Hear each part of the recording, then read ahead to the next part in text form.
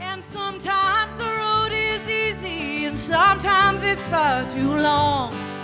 The seventh flight in the last five days, or two more, and I'll be home. And I live for the gentle time when the laughter flows with ease, and the time that I'll be in your arms again. Yeah, the time that I'll be in your arms again. Again at the end of the day.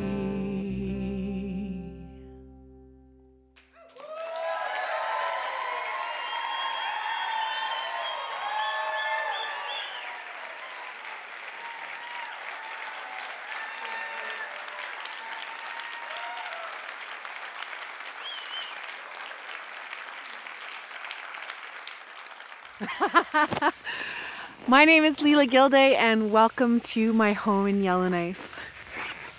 We're standing on the lake, on Great Slave Lake, uh, and it's ice right now, obviously. so we're walking on the water, so to speak, and it's informed a lot of my songwriting. I wrote a song called Great Slave Shore, and uh, I grew up just on the edge uh, of the lake over there. Every year the Snow King builds that castle. And uh, I played there I think three years ago with my or two years ago with my band. And that was an awesome show. It was the first time that we had ever played in a castle made out of snow. And uh, it was just packed with people. And that's so packed that it started to drip on our instruments. And uh, the guys were kind of freaking out on stage but they loved it anyway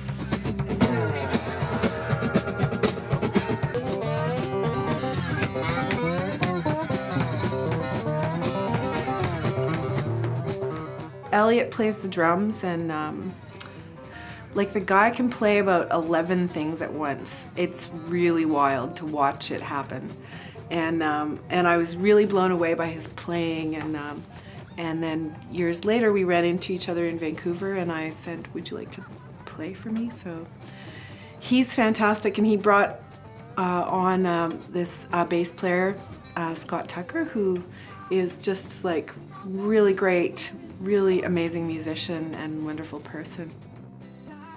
My guitar player uh, is his name is Jason Burnstick, and um, we met at a backyard barbecue years ago in Vancouver, about five or six years ago, and yeah, I think it was about six years ago, and we started playing together that night, and uh, and then we started performing together about six or seven months later and our friendship, our musical friendship, sort of formed the basis for my band in Vancouver. And um, I've moved back to Yellowknife since then, but uh, they're still my my guys, and uh, and I just love playing with them. I love working with them.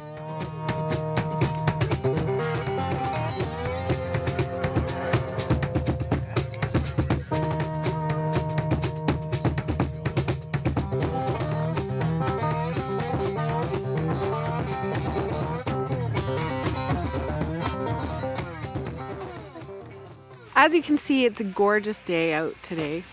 And uh, I think that's a lot of the reason that, I mean, it's the power of the North and like the, yeah, the pure visceral power of this land, but also it's so beautiful. I mean, it's like just look like just out on the lake there and the, and these, these are old mountains, these hills are old mountains that have been worn down by water over the over the millions of years.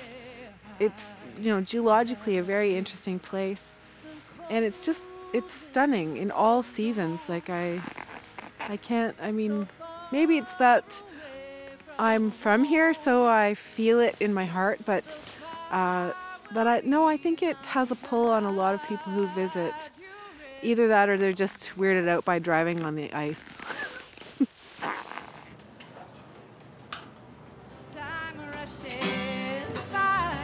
But we know life it is a circle and there's no need to cry.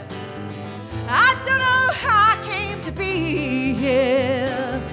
I don't know how alone.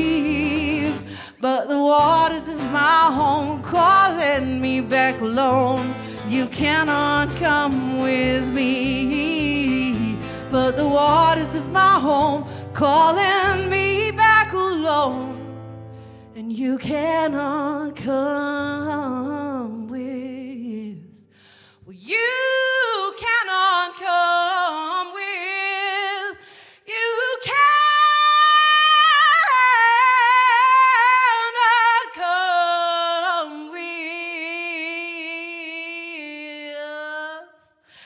me.